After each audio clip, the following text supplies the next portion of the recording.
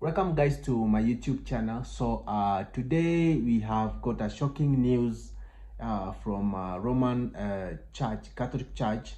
Uh, uh pope francis has finally uh, proved that um the priests are going to be allowed to give blessings to same-sex marriages or same-sex relationship. So he writes and says that Vatican policy by insisting that people seeking God's love and mercy shouldn't be subject to any exhaustive moral analysis to receive it.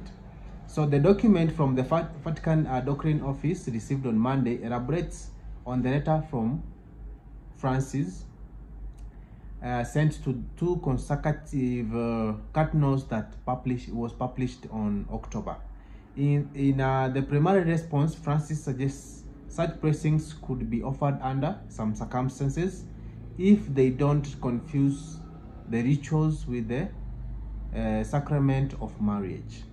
And then he says that um, the new document repeats that uh, La Chanel and elaborates on it, reaffirming that marriage is a long life sacrament between a man and a woman.